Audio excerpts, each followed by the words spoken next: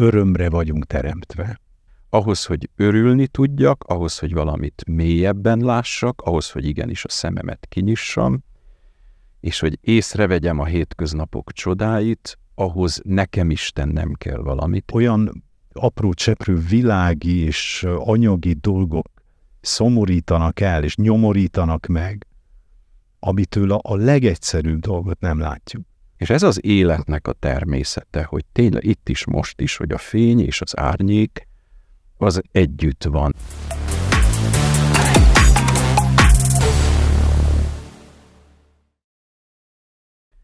Tisztelettel köszöntjük a Keresztutak Podcast egy újabb kiadásában, itt az Erdélyi Magyar Televízióban. És a mai témánk pedig egy mindannyiunk által közkedvelt téma. Ez az öröm, az örömnek az érzése. Az öröm és egyéb hétköznapi csodák, ahogy próbáltuk ezt így röviden, summásan összefoglalni.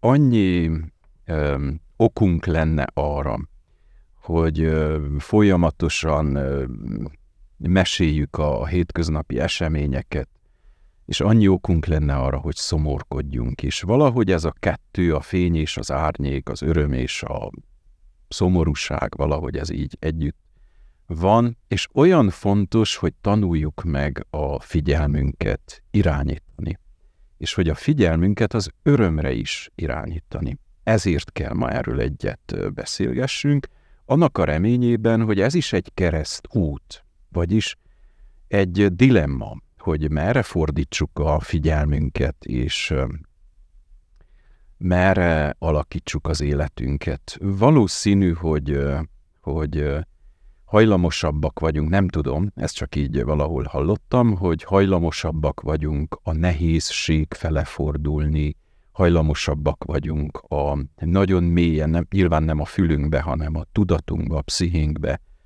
egy ilyen mechanizmust kialakítani, hogy arra irányuljunk, ami, ami, ami nehéz, ami szomorú, ami lehúz, így aztán kialakulnak bennünk a félelmek, de ugyanazt a figyelmet az ember irányíthatja az örömre is.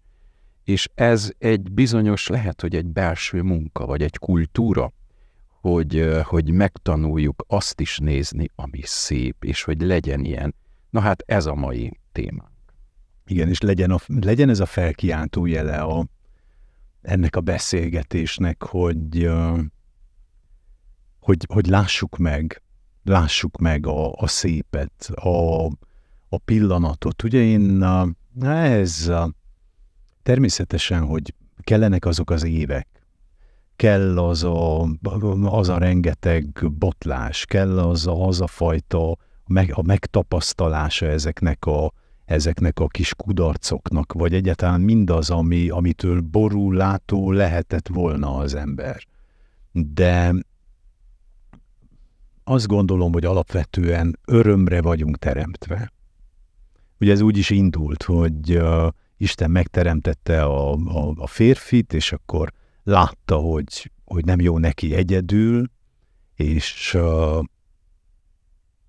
nincs öröme ebben a magányban, és akkor adott neki társat.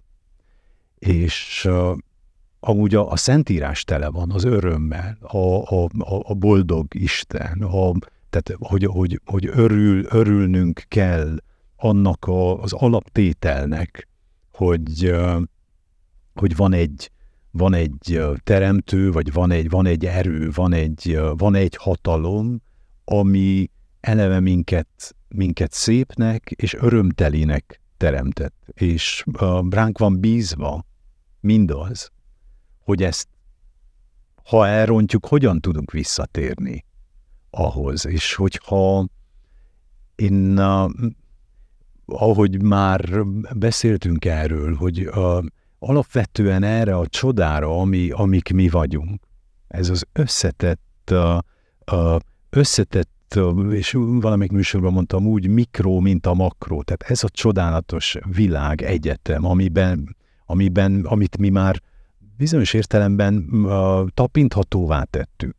Tudományosan is, de spirituálisan is, hogy uh, meg tudtuk fogalmazni magunknak, hogy, uh, hogy, hogy meg, meg, megengedett nekünk ezek a kis teremtések. Mert azt hiszem, hogy az öröm az alapvetően az, hogy rá tudunk csodálkozni a teremtésre. És uh, ugye ennek van egy határa. Amikor egyszer csak uh, megérezzük azt, hogy milyen picik vagyunk, és igen, rá kell bízni az Isten. Rá, van, amikor egyszerűen rá kell bízni arra, arra a hatalomra, hogy vezessen minket. És akkor az a, a, az egész életünket meghatározó öröm, az megszületik.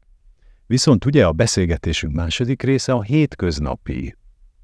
És az, hogy igen, hogy mi, hogy mi történik reggel hétkor, amikor fölébredünk. Vagy ki, amikor. És uh, hogy van egy ilyen uh, van egy ilyen japán mondás, hogy nézz távolra, hogy ne nézz mindig közelre, és akkor csodákat fogsz meglátni, hogyha elég távol tudsz nézni. Mert akkor a horizontodba egyszer csak olyan dolgok kerülnek be, amihez képest te valóban rá tudsz csodálkozni arra, hogy te ennek a nagy csodának vagy a része. Például, hogy én ezt részben így tudatosan reggel mindig úgy, úgy kezdem, hogy, hogy nézek így, amilyen távolra tudok nézni, és akkor, és akkor ebből már, már, már, már úgy kezdem a napot. Tehát, hogy én egy ilyen mániákus, tudatos boldogság kereső vagyok. És hogyha össze akarjuk foglalni, hogy, hogy, hogy Általában a segítő szakmák, ebben most beletartozik a lelki vezetés, lelki gondozás, vagy a különféle terápiák, azok ezt a valóságot ragadják meg, hogy általában mi azért fordulunk egy segítőhöz, mert valamilyen elakadásunk van, vagy valamiben lehet, hogy a, a hiányokat jobban észrevettük, vagy a sötétség jobban megragadott, vagy a félelem, jobban úrrá lett rajtunk, és a terápia most egy nagyon elnagyolt formában mondhatjuk azt, hogy nem más, mint hogy irányítsd át a figyelmet. Kezd elkeresni, hiszen lennie kell ugyanott. És ez az életnek a természete, hogy tényleg itt is, most is, hogy a fény és az árnyék az együtt van, és akkor most egy picit figyelj arra is, ami, ami az örömről szól, Nekem tetszik az, ugye, Szentírásra hivatkoztunk, és a Szentírásban van egy olyan rész, hogy Szent Pál apostol mondja, hogy azt mondom nektek, hogy örüljetek. És újra mondom, hogy örüljetek. És hogy ezeket a sorokat Pálapostól akkor írja, amikor börtönben van. Meglehetősen rossz körülmények között, beteg, testi ereje megfogyatkozott, tehát az akkori börtöni körülmények nem voltak szállodáéhoz hasonlíthatóak, hanem, hanem ez egy ókori helyzetkép, egy nagyon nehéz börtönhelyzet is. Abból a belső állapotból, ami mégis ott van, a, amit nem lehet a börtönrácsokkal lezárni, az a belső szabadság mondatja vele, hogy okunk van arra, hogy lássuk meg a sok jót is. A hétköznapokban vannak csodák. Lehet, hogy nem misztikus nagy csodák, hogy most nem tudom, hirtelen valami, és az, a tényleg ezek az... Néha vannak ilyen nagyon extrém elképzelések a csodákról, pedig a csodák csupán annyi, hogy most éppen március vége van, megpattannak a rügyek, ami a tegnap vagy ezelőtt még pár nappal teljesen szürke volt, az most kapott egy gyönyörű szép zöld szint, most um, kinyílnak a, az aranyesőnek a gyönyörű sárga szírmai, és így tovább. És a, a hétköznapokban ezt észrevenni az egy terápia, tehát ehhez valóban egy olyan szemre van szükség, vagy olyan figyelemre van szükség, ami érdekmentesen ö, látni képes, és csak egyszerűen, ahogy te is említetted, rácsodálkozik arra a teremtésre, ami egyszerűen minket lesz. Igen, és a, hogyha, hogyha nem patológikus, tehát hogyha de nem egy betegség, akkor az ember pontosan tudja, hogy valami olyat, olyat tesz, amiben nem lesz öröme. És ez nyomasztja, és hogyha ezek földgyűlnek, akkor egyszer csak az, azok, ezek az apró dolgok nem hagyják. Nem hagyják, mert egyszerűen lefedik annak a lehetőségét. El, elfedik annak a lehetőségét, hogy, hogy az apró örömöket meg tudjuk élni, hogy meg tudjuk tapasztalni, továbbadni. És én például sok ilyen nyomasztó dolog van. Én erről mindig egy, mikor már érzem, hogy, hogy, hogy valami nincs rendben, akkor írok listát. És azoknak a végére járok. Mit írsz erre a listára? Ja, ami éppen, ami éppen, mert azért mondom, hogy valami, ami nyomaszt, hogy, hogy valamit nem beszéltem meg, hogy, hogy mert ah. van ezer ilyen apró dolog, mit tudom én, határidő, ami közelít, és akkor én azt nem teljesítem, és az nyomasz, és nem, hagy, nem, hagy, nem hagyja, hogy észrevegyem, hogy tavasz van. Uh-huh. Ezzel vagyunk még néhányan így. És, és akkor eljön az a pillanat, amikor azt mondom, hogy én ezt nem hordozom tovább, uh-huh. hanem holnap lesz az a nap, uh-huh. amikor én ezeknek a végére járok. Elkezdem azt az utat, hogy a végére járjak és már is, már is megszabadulok attól a tehertől. Az, hogy sikerül vagy nem sikerül megoldani, ez egy másik dolog. De hogy, hogy, ez, egy, hogy ez én nekem ahhoz a higiéniához, ez egy nagyon fontos, nagyon fontos lépés, amiket időnként én ezt így tudatosan meg is teszek.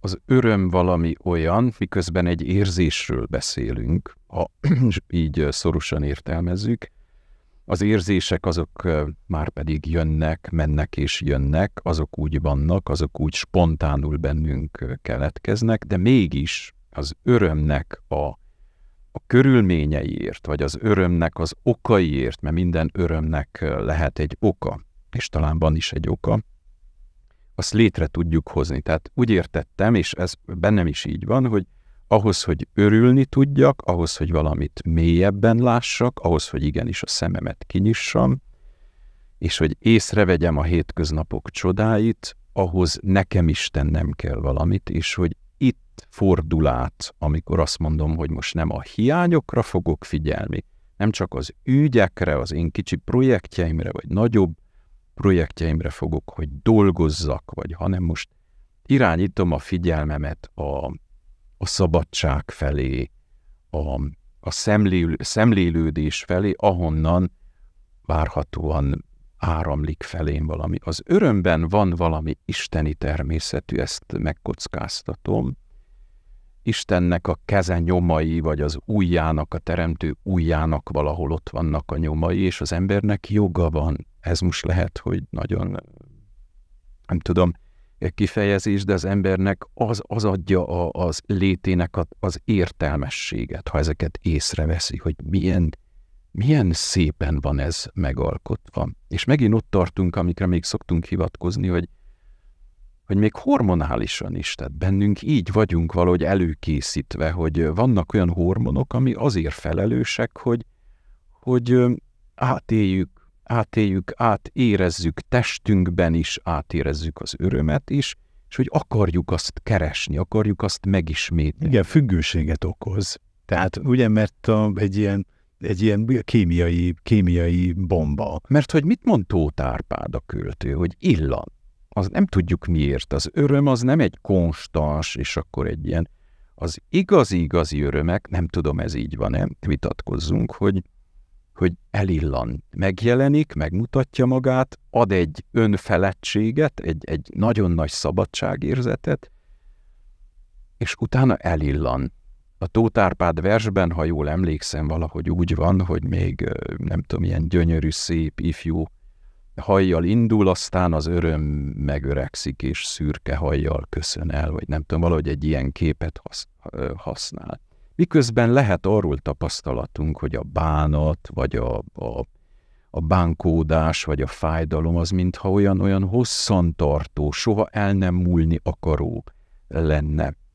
Ezért is van bennünk egy ilyen, egy ilyen függőség, hogy térjünk vissza, keressük megint, térjünk vissza, és én ebben látok valami nagyon-nagyon emberit, valami nagyon-nagyon szépet is, jó dolog akarni, keresni a, a tiszta, értelmes, az életet tényleg egy, egy ösztönző erővel előre vívő örömeket. Igen, én ezt mindig mondom, hogy igazán, igazán a paradicsomot keressük, tudod, azt a gömbölyű állapotot, amikor, amikor csak a boldogság, csak az öröm volt, és az a, az, és a biztonság, és csupa olyan dolgot tudok mondani emellé, ami, tehát amire azt mondjuk, hogy paradicsomi, de hát ugye ezt hajszoljuk. És ugye az örömnek van egy ilyen mondás, így mondtam, hogy csináljunk egy derűs beszélgetést, hogy ugye a legtisztább érzés a káröröm, mivel hogy nincs benne irítség. Mert uh, érdekes módon, hogy önmagunkat becsapva tudunk, hát nem is tudom, mert azt hiszem, hogy nem marad más, más menekülési útvonal, a hiányérzetből, hogy miért nem én, és akkor ő neki majd most, jó, most, most rosszul sikerült, és ő jó, hogy nem nekem sikerült rosszul. Tehát, hogy, egy, hogy ez egy ilyen, ez egy ilyen hamis becsapós érzés, a káröröm, de uh, hát ne, nem mondom, hogy uh, igen, mert persze, én velem is történt, hogy, hogy, hogy hogy azt hogy valami, ez, hát igen, ugye a, nem tudom, valamilyen konkurens, teljesítménykényszerű szakmámban, tehát, hogy igen, életemben volt ilyen, hogy, hogy hát igen, most ez, ez az jó nekem, hogy neki nem jó. És akkor ilyenkor figyelmeztetni kell önmagunkat, hogy ebből ebb, ez nem visz előre. Sem engem, és megrövidítek valakit, aki talán erre nem szolgált rá, tehát hogy ez, hogy ez egy, hogy igen, hogy ez egy feladat, hogy ez, hogy mindig, ahogy mondjuk ott van a kis ördög, aki beférkőzik, és azt mondja, hogy, hogy most te, most, te att, most te attól lettél több, hogy elveszed a másiktól, amit ő joggal, joggal, amiért megdolgozott, és joggal érte el. Oké. Okay nem titkoljuk azt, hogy mi most tulajdonképpen nem így, csak így négy szem közt egy kicsit itt filozófálgatunk az örömről, hanem azzal a szándékkal beszélgetünk, vagy azzal a vágyjal beszélgetünk, hogy a nézők, hallgatók, akik követik ezt a podcastot, örömre derüljenek, újabb örömforrásokat fedezzenek fel, esetleg egymásnak örömet szerezzenek, és arra gondoltam, én csináltam egy kicsi listát, hogy én hogy vagyok ezzel, nem, de ami belefér egy műsorba, vagy ebbe a beszélgetésbe, hogy mi az, ami nekem az én testemre, lelkemre, személyiségemre szabott igazi öröm, ami nekem, nekem örömem. És én arra jöttem rá, hogy az a típusú öröm, ami hozzám közel áll, és ami úgy még akkor is, ha illan, vagy elillan, de valahogy így ebben van benne, az azzal függ össze, amit te mondtál a beszélgetésünk elején, hogy ott van Ádám, Isten rátekint, és azt mondja, hogy hát ez így, így nem lesz öröm, hanem kell mellé egy másik valaki. Tehát az a típusú öröm, ami számomra nyújtja az öröm érzését, megtapasztalását, az örömnek így a, az életet előre vivő áldásait, az a találkozásokban van elrejtve. Egy másik emberrel történő minőségi jó beszélgetés, vagy, vagy még a lazázás is, amikor úgy nem, amikor azt tapasztalom meg, hogy te, ez, ez az őszinteség, az, hogy két ember képes erre, vagy három ember, vagy egy, egy, egy kis bizalmi tér, ahol néhányan együtt tudunk lenni, nekem valahol itt fakadt fel, de ugyanez a gyengeségem is. Hogy nagyon hamar ráérzek, hogy kikkel nem megy ez, és nem, nem szabad erőltetni, hogy, hogy ott ö, konfrontálódok, vagy el is akadok, vagy megbántódok, vagy bántóvá válok.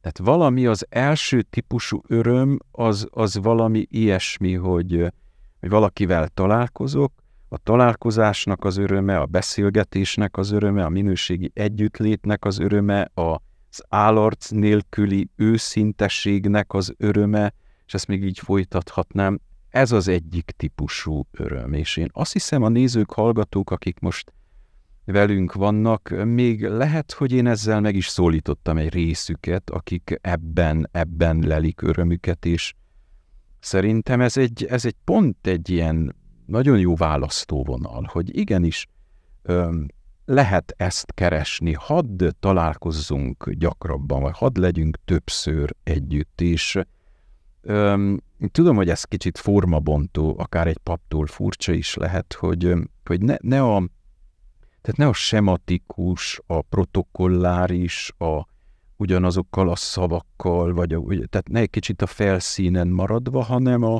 ha csak lehet, tehát erőltetés nélkül szabadon a személyes szép találkozásokban rejlik számomra nagyon nagy öröm. Igen. A, igen, de mondjuk ehhez uh, ki kell bontanod magadat. És ez, ez nehéz.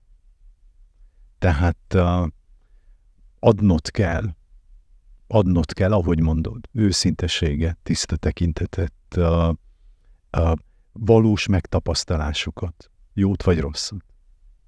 Mert uh, az a munkánk, az a, az, a, az a spirituális munkánk, hogy mi keressük egymást. Ez van ránk bízva, hogy együtt éljünk itt a Földön. És az, az, hogy, és ez egy csoda, hogy, hogy egy olyan kémiai vegyületet kapunk jó impulzusra, ami boldoggá tesz. Igen, egy pillanatra fölrobban bennünk, és, és, és elfeledjük a szenvedést. És ezt meg, meg kell tanulnunk. És Pálapostolt mondtad, és igen, ez így van, hogy a, én azt hiszem, hogy hogy amikor a legnagyobb baj volt az életemben, vagy a legnagyobb, uh, legnagyobb uh, uh, úgy tűnt, hogy a legnagyobb probléma vagy esemény történt, ami lehúzhatna, bizonyos értelemben én akkor nyugodtam meg. Ezekben a pillanatban nyugodtam meg. Mert először is fölülírták mindazokat az apró, nem fontos, nem fontos dolgokat, amikkel a, a, a, ugye a napi rutin, a, a, a napi rutin, ami elfödi, elfödi az igazi életet. És, és bizonyos értelemben megtanított, hogy mondjam, távolba nézni, vagy egyszerűen alázatosnak lenni, és örülni annak, hogy hát hogy, így úgy mindenféle emberi valómban, hogy, hogy, hogy reggel fölkelek, hogy van feladatom, vagy hogyha nincs feladatom, akkor, akkor megvan az erőm ahhoz, hogy keressek feladatot. Hogy értelmet adjak a magam életének, és ezáltal a környezetemben sokaknak. És mindebből olyan, olyan azt, mindebből azt kapom vissza. Ugye édesanyám mindig azt mondta, hogy azért, azért kell mindig adni, mert hogyha csak felét kapod vissza, az már boldoggá tesz.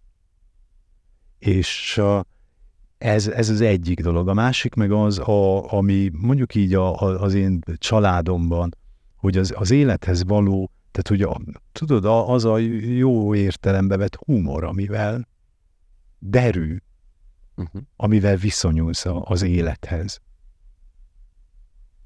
És, és, ez nagy, ez, és ez egy nagyon fontos dolog. Az irány hogy, hogy bármi történik, annak, annak egyszerre látott két oldalát, és ez ugyanakkor olyan tragikus, mint amennyire komikus. Mert parányiak vagyunk. És ez segít túlbillenni, az, az, az megnyugtat, az, az egyáltalán hagy menekülési útvonalat, hogy előről tud kezdeni, vagy ha elromlik, és akkor még egyszer és még egyszer. Tehát bizonyos értelemben ez igen, ahogy mondtad, hogy kulturális, mert igen, ez egy életszemlélet. És ez gyakorolni kell. És én bizonyos vagyok benne, az, amit már mondtam, hogy, hogy a, az olyan dolgokat, amikben látszólag tehetetlenek vagyunk, azokat rá kell bízni az Isten. és munkálkodik ő a környezetünkben, hogyha, hogyha, hogyha mi azt kiérdemeltük, hogyha mi azért dolgoztunk, akkor munkálkodik ő, és a környezetünk fog kisegíteni, úgyhogy nem is gondoltuk volna. Ez nekem egy gyakori tapasztalásom, hogy én valamit elkezdek, és hogy Isten befejezi, és ez nagyon nagy öröm.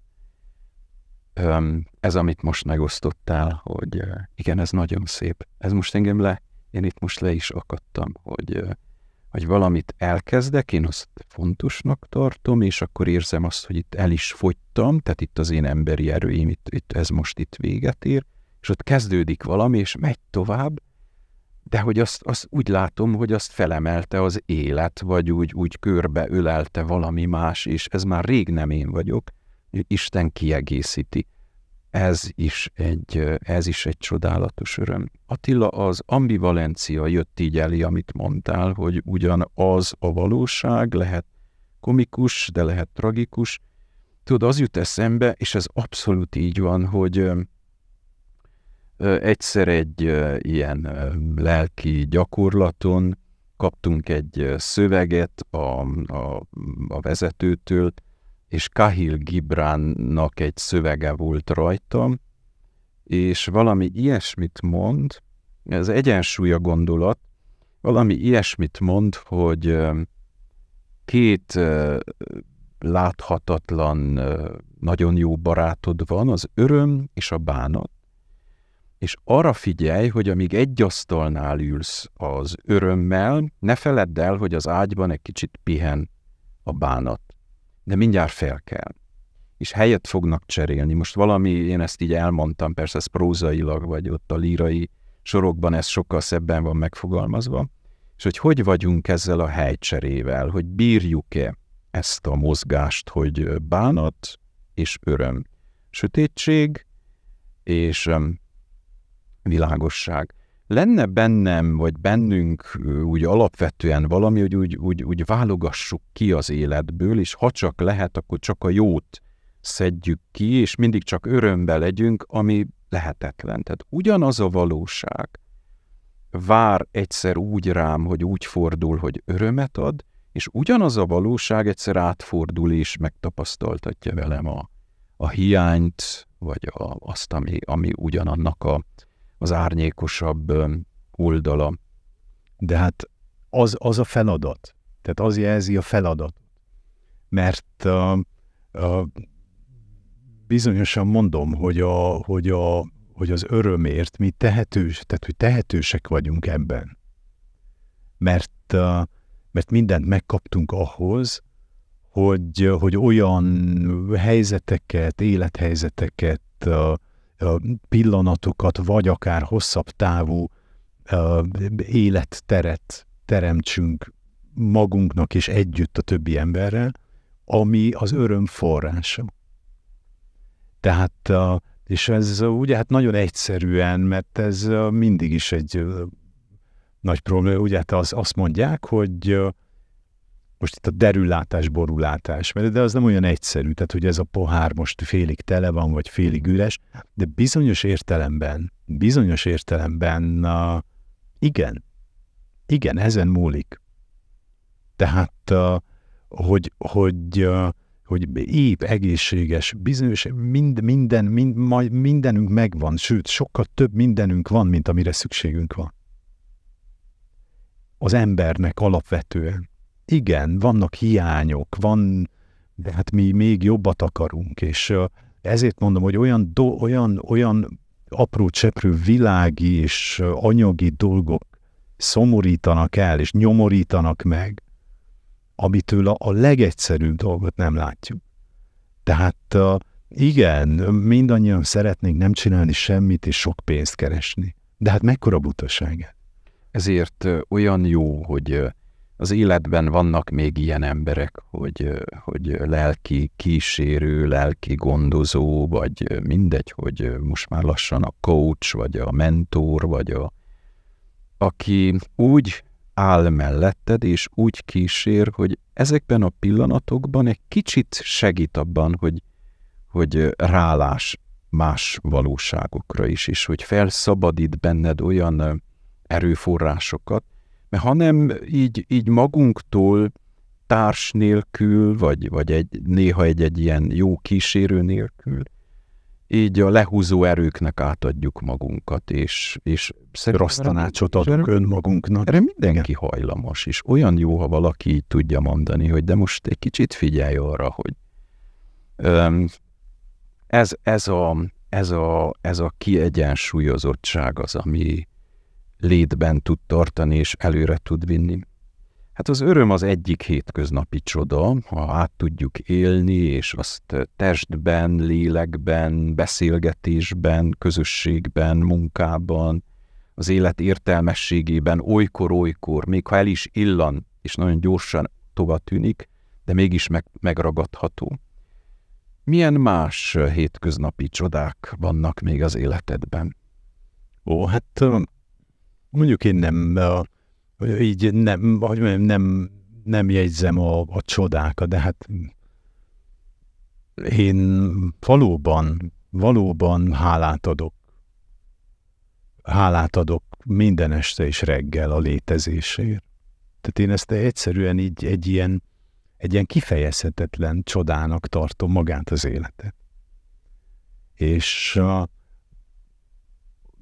minden évvel együtt és uh, keresem is, keresem is azokat a, azokat a felületeket és pillanatokat, amikor én ütközni tudok ezekkel, ezekkel a dolgokkal. Rá, rácsodálkozom egy csomó mindenre.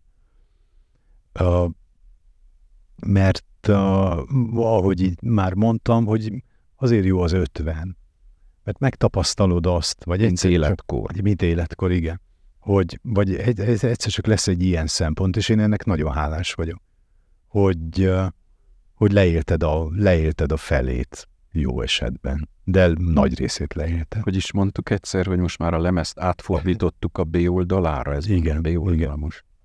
És, és hogyha, hogyha ezt a fajta látásmódot jó időben kapod ajándékba, akkor, akkor, akkor olyan szépen hosszú ez az élet.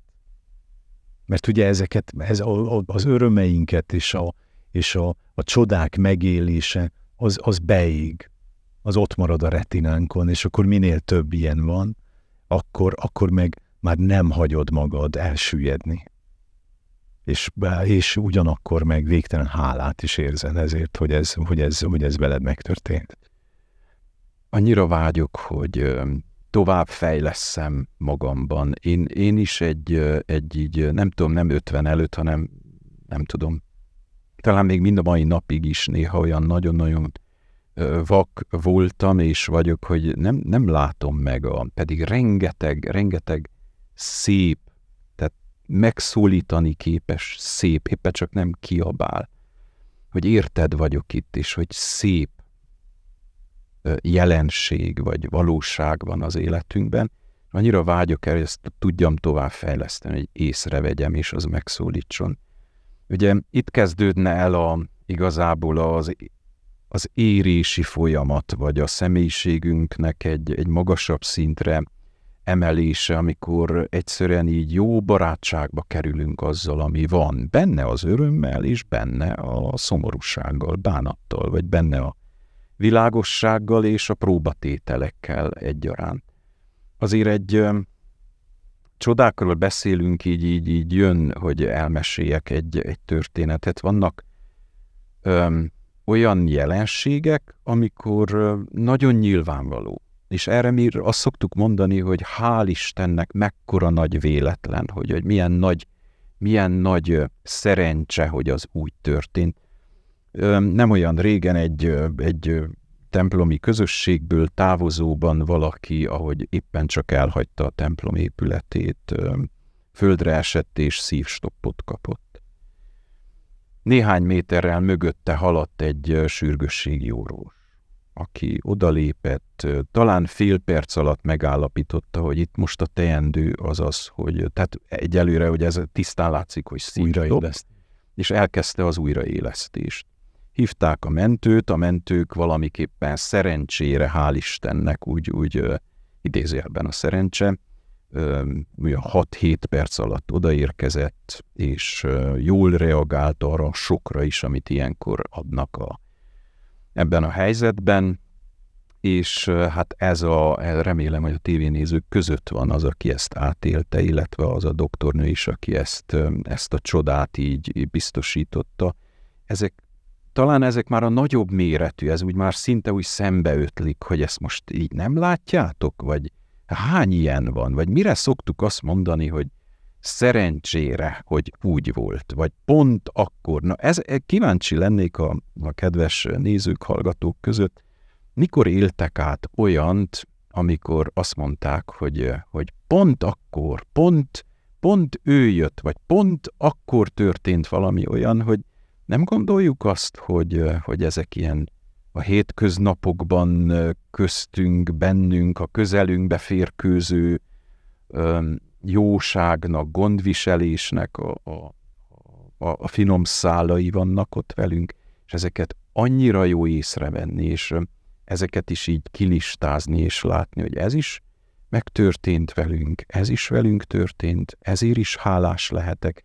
Egyébként ez a hálásnak lenni, hálát kifejezni, a hálámat leírni, a hálámat gyakran elmondani, színlelés nélkül, őszintén át is érez, vagy valóban megrendít, és valóban nagyon-nagyon átélem a köszönetemet, az megint alkalmas arra, hogy örömet fakasszon bennünk. Egyértelmű, és ugye az annak a része, vagy legalábbis az én a kis univerzumomban annak a része, hogy a, tehát hogy, hogy, hogy így nyújtom a kezem, és én rábízom, rábízom Istenre a nagy részét. Tehát, hogy, hogy igen, tehát az, az, az, az a rész, ahol én tehetetlen vagyok nem, hogy, hogy ezeket az erőviszonyokat például megteremtsem, amiből jóság fakad, amiből, amiből örömöt tudok adni és kapni. Tehát val, val, valahogy, valahogy, valahogy ez. Ja, igen, hogy valahogy, hogy így valahogy befejezzük a beszélgetést. Ugye én mindig mondom a tudatosságot, hogy hogy meg kell fogalmaznunk magunkban azt, hogy mit tesz boldogtalanná, bár jelzi a szervezetünk, a, amit úgy hívunk, hogy lelki ismeret, az önismeretünk, a belső világunk jelzi, hogyha, hogyha egy olyan útra léptünk, hogyha egy olyan gesztust tettünk, hogy, hogy ez nem helyes, hogy ez nem tesz minket boldoggá, hogy ebből nem lesz örömünk. És uh, ilyen módon kell tudatosítani, vagy uh, most idézőjelben mondom, föllistázni, hogy hogyan tudunk, hogyan tudunk úgy élni ebben a, ebben a világban, hogy, hogy örömet okozzunk, nem magunknak, a környezetünknek, és ezáltal majd, uh, majd uh, kamatostól visszakapjuk, és, és létrejöjjenek ezek a csodák, amire, ami, amire azt mondjuk, hogy hát igen, pont akkor történt valami ilyesmi van be elrejtve az örömnek a mechanizmusában, ha egyáltalán van ilyen, hogy tényleg valami az adással függ össze, amit önzetlenül tudtunk tenni, úgy oda tudtuk ajándékozni, az valamiképpen visszaköszön, vagy visszatér, és ezt az érzést, megtapasztalást nevezzük örömnek. Egy kicsit több mint 30 perccel léptünk be ebbe a stúdióba, nem tudom, te hogy, vagy hogy érkeztünk ide, én biztos, hogy ez alatt az idő alatt velem valami történt, mégpedig a ide megérkezés, a fizikailag, lelkileg jó érzés, az, hogy itt jó helyen vagyok, jó veled beszélgetni, és akkor egy kicsit úgy érzem, hogy ez, ez az öröm így, így megjelent valahogy itt ebben a, ebben a beszélgetésben, és pont ez a cél kedves nézők és hallgatók, azt is mondtuk, hogy mindenki tehet valamit annak érdekében, hogy megszülessen közöttünk az öröm. Igen, kicsit ötleteljünk és találjuk meg a módját, hogy akár magunknak megadjuk ezt az élményt, vagy, vagy másoknak őzetlenül tudjuk tenni ezt. Köszönjük, hogy ma is velünk tartottak a az RDTV Facebook oldalán kérjük, hogy a, a írják meg a hozzászólásaikat, a YouTube csatornán pedig a csengő szimbólumot is nyomják meg, illetve ott is a hozzászólásaikat várjuk. És Keresztes Attila színház rendezővel együtt várjuk a következő találkozást. Viszontlátásra!